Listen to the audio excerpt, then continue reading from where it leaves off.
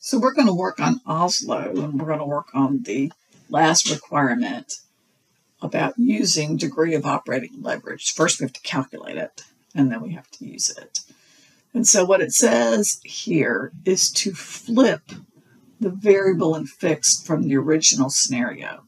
So the original scenario variable was 31.5. So we're now going to make that fixed. And the variable expenses are what the fixed used to be.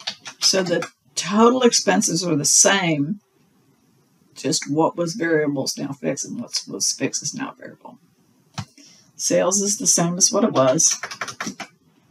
So now we have to calculate our new contribution margin, sales minus variable cost, and our new net operating income, which is contribution margin minus fixed cost.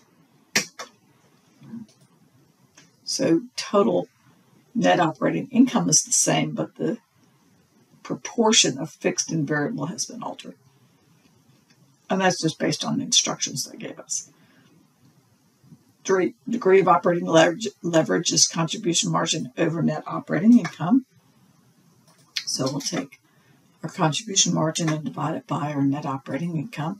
And that is expressed as a decimal. They tell you to round to two decimal places.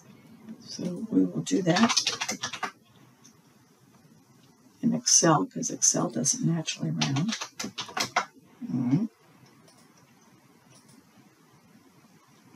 Now we're going to use it. So the way it works is the degree of operating leverage is multiplied times the percent change in sales, and that will tell you the percent change of operating income.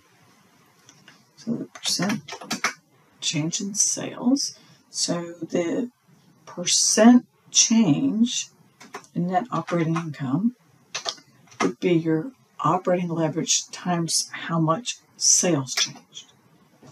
So that's a pretty impressive shift, and that's because when sales went up,